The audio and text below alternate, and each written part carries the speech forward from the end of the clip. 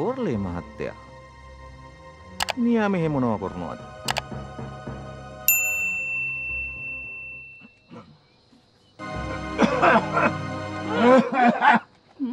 මොකද කොරලේ මහත්තයා? හිස්පොල්ල ගියා වතුර එකක් යන්නේ නැන්දයි? එපා එපා වතුර ඕන්න ලංකිදා උඹ මොකද මෙහෙ මාත් එක මේ කෝර්ලේ මහත්තයෙන් අහන්න කියලා කටගත්තා විතරයි. මම මේ අපේ අයියන්ඩි හම්බෙන්න කියලා ආවේ. සින්දප්පු උදැහැනෙක්කෙම මිනිපි කොහින්? ඒකනේ අපිත් මෙයා හ්ම්. ඒකත් එහෙමද? හ්ම්. මං ගොහින් එන්න. මොනවා හරි බීරයන්ට යන්නේ. කාරි නෑ කාරි නෑ. එහෙනම් පිනා අපිත් යන්නේද කෑම ඇත ඔය මදයි ඒකටත් අර හෙන උරේ පාත්තුනානෙව කෙලස්තිනා හෙනම් අපි ගොහින් එන්නම්. මොනවා හරි බීරයන් නැතේ? ඕනෙ නෑ ඕන්න බොන්ට ඕනෙ නෑ. මදයි කෑවා. නමෝ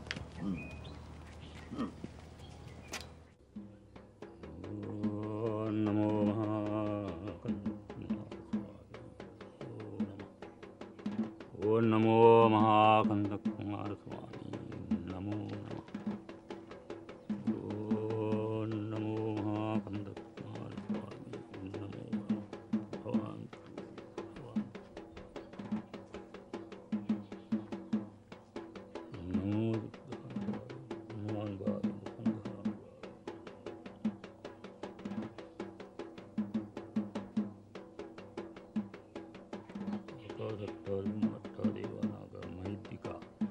분연당 한모 리파 디란락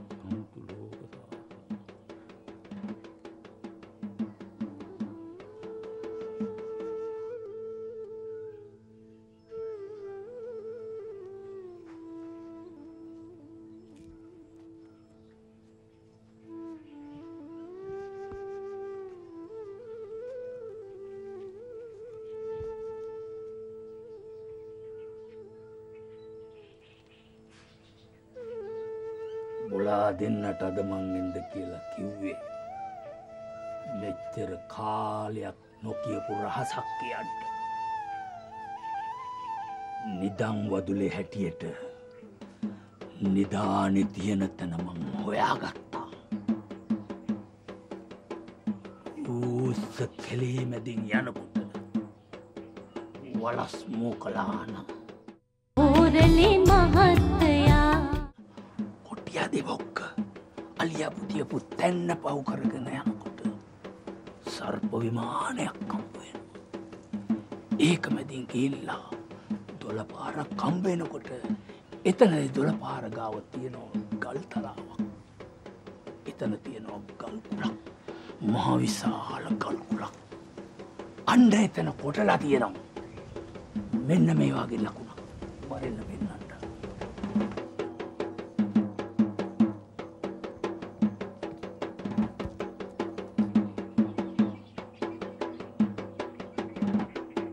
මෙන්න මේක තමයි ඒ ලකුණ. මේ ලකුණ හොන්දට මත්තගතියා ගනිල්ල.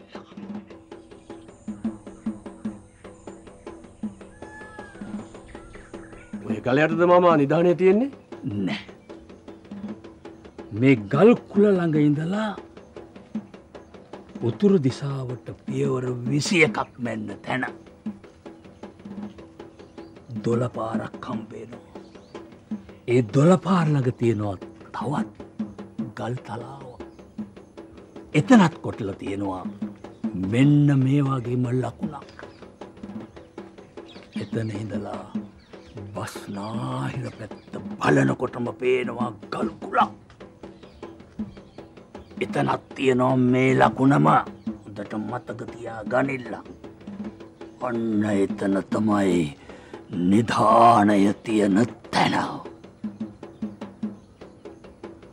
ඔය කියන විදියට ඔය ඉසව්ව හොයාගන්න එක ඒ තරන් ලේසි වෙන එකක් නෑම ඉතිං ඔය ඉසාහුව හොයාගන්ට බැරිනං කොහොමද උඹල මේක ගොඩගන්නේ එක ගැන හිතපල් ඔය කියන විදියට මාමා ඔය ඉසව්වට කිට්ටුවෙන්න තුන් තිස් පෑත්පත් ගතවේවි. බත් ගෙඩි බැඳගෙන වන්දනාව යනෝ වගේ ගමනත් තමා යන්ටවෙන්ට. මහා වස්තු කන්දරාවක් තියෙන තැනක් ඕක. ඕක තියෙන වටිනාම වස්තුව තමයි තමරංබුදු පිළිමය ඕක නස් පැත්තියකුටේ මහවුනොත් විකුණගෙන කනවා. ඔය තඹරම් පුතු පිළිමේ අපේ ගමට වඩම්මන්න පුළුවන්නම් යසාගේ නොව මාම. ඒකට තමයි මමත් ඔච්චර දතකත් මං ඔය වස්තු තන්හාාවක් ඇති කෙනෙක් නෙමෙයි දමරම් බුදු පිළිමයට බුද පූජා පවත්වන්නට ලැබෙන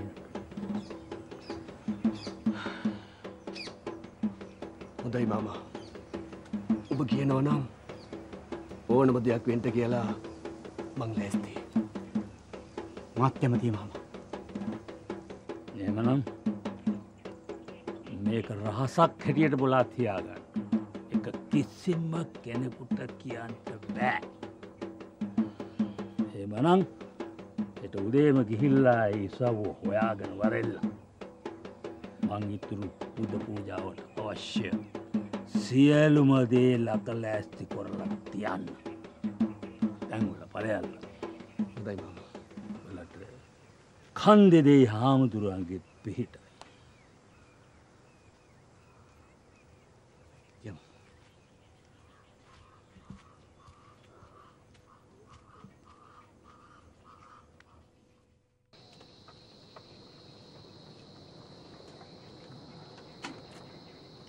අයියන්ඩි.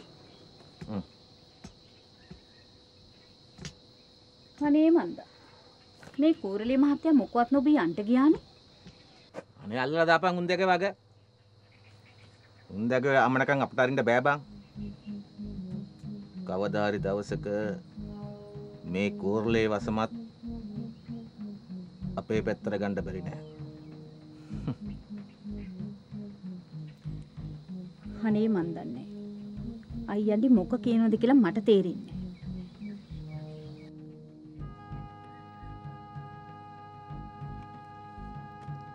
බොටෝවා නොතීරණ එකමයි කාරිය එව්ුවෙන් වැඩක් නෑ. ද මොකක්දම්ඹලගේ තීන්දුව? අර ගජ පණ්ඩක යෝජනාව ගැන? සපුමඩිගේ අපච්චිනං ඒ හැටි මනාපයක් නෑ. ඒ හින්ද මටත් කෙලින් වචනයක් දෙන්න බැරුවයි ඉන්නේ අයියන්ඩි. සින්දප්පු මගේ අයියන්ඩි වෙච්චි. ඌ මං වගේ නෙමේ හරි අයින්සකය උඹම හිතපන්. ඌට දරු පවුලක් ආරක්ෂා කොරන්ඩ බඩගෝස්ත්‍රයක් තියෙනවද කියලා? මට අයියන්ඩි කියන දේවල් නොතේරෙනවා නෙමෙයි. මට තනි කැමැත්තත් දෙන්න බැරුව අයි අයියන්ඩි මාත් ඉන්නේ.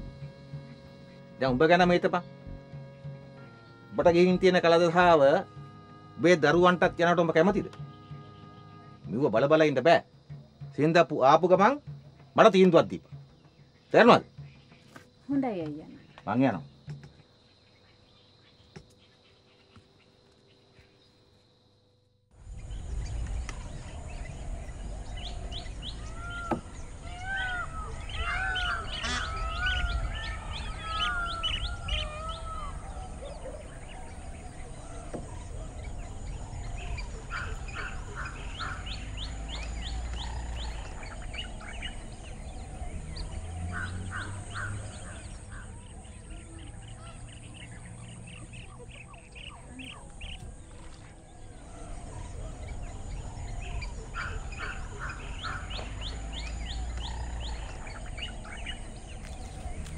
අන්න ජන්තු අයියා ඉන්නවා. ඔන්න ඒක කතාවට එහෙම යනව නෙමේ. ඇයි? උඹ අපේ අයියන්ඩිත් එක්ක කමනාපෙන් දින්නේ නෑ බං. දැන් කී දොහක් නම් කතා කරාද? ඒ වුණාට ඉතින් අන්තිමේට මට ඉතුරුනේ මෙච්චරනේ ඉතින් ආයම වංගියක් කතා කරලා බලන්නකෝ. එහෙම ආඩම්බර වෙලා බෑනෙව. ඔබ පැහෙන්නේ නැතුව ඉඳි. කතා කිරුවොත් එහෙම බලාගෙනයි. ආ. මම බැලුවා කවුද මේ කුටු කුටු ගන්න කියලා. නගාලනව ආ